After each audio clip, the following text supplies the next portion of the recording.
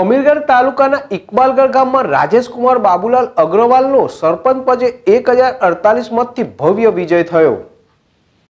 બનાસકાંઠામાં જિલ્લા ગ્રામ પંચાયતની ચૂંટણીને લઈ રાજકીય ગરમાવો જોવા મળ્યો હતો, જ્યારે ઓગણીસ ડિસેમ્બર બે હજાર ઓગણીસના મતદાન બાદ એકવીસ ડિસેમ્બરના રોજ મતગણતરી કરવામાં આવી હતી, જેમાં સરપંચ અને સભ્યોના દાવેદારોની સંખ્યામાં મતદાન મથકો પર પહોંચ્યા હતા. જેમાં અમીરગઢ તાલુકામાં પ્રાથમિક કેન્દ્ર શાળામાં મતગણતરીમાં બહોળી સંખ્યામાં સરપંચ પદના ઉમેદવારો અને સમર્થકો પહોંચ્યા હતા.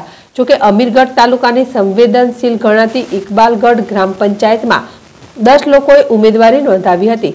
તેમાં રાજેશકુમાર બાબુલાલ અગ્રવાલે પણ ઉમેદવારી નોંધાવી હતી. ઇકબાલગઢ ગામમાં તમામ સમાજના લોકો વસવાટ કરે છે. ત્યારે દરેક સમાજના સહયોગથી રાજેશકુમારે ઉમેદવારી નોંધાવી હતી. રાજેશકુમારનો એક હજાર અડતાલીસ મતથી તેમનો ભવ્ય વિજય થયો. રાજેશકુમાર અગ્રવાલની પેનલમાં બાર વોર્ડમાં મેમ્બરોએ પણ ઉમેદવારી નોંધાવી હતી, જેમાં બારમાંથી દસ વોર્ડ મેમ્બરો પણ વિજય થયા હતા. તેમાંથી જ વોર્ડ નંબર પાંચમાં વોર્ડમાં મેમ્બર ઉમેદવાર પાંચ હતા. તેમાં શિબિર શેખબાજી મારી ભવ્ય વિજય મેળ્યો હતો. તેમજ વિજય થતાં લોકોમાં અનેરો આનંદ જોવા મળ્યો હતો. નવા બનેલા સરપંચનો ફૂલહારથી સ્વાગત કરીને બહોળી સંખ્યામાં લોકોએ વધાવી લીધા હતા. અશોક રાણાવાસિયા જેડેશ ટીવી, અમીરગઢ. જાતિ સર્વ પ્રજાને બહુ બહુ અભિનંદન.